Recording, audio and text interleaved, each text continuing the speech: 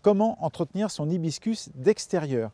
Nous voici devant un beau spécimen d'hibiscus syriacus, le fameux hibiscus de jardin qu'on appelle aussi un altea. À ne pas confondre bien sûr avec l'hibiscus rosa sinensis qui lui est une plante d'intérieur car il est gélif. L'hibiscus syriacus tient très bien au froid, il peut résister jusqu'à moins 20 et plus. Il perd ses feuilles en hiver, comme vous pouvez le voir. L'hibiscus syriacus fleurit tout l'été et jusque tard en automne. Vous le planterez dans une terre pas trop lourde, en plein soleil. L'entretien est assez simple puisque vous l'arroserez correctement la première année de plantation et ensuite vous le laisserez se débrouiller tout seul.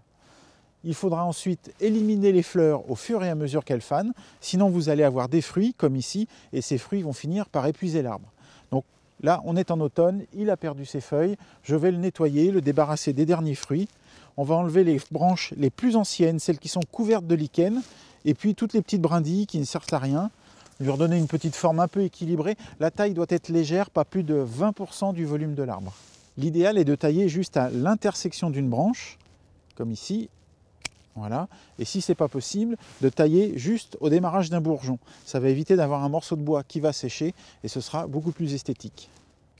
Sur un vieil hibiscus, les branches peuvent être couvertes de lichen. Il faudra, une fois que la taille sera terminée, brosser ces branches pour éliminer le lichen qui va gêner le développement de l'hibiscus. Et ça arrive souvent quand il est planté dans un terrain trop humide.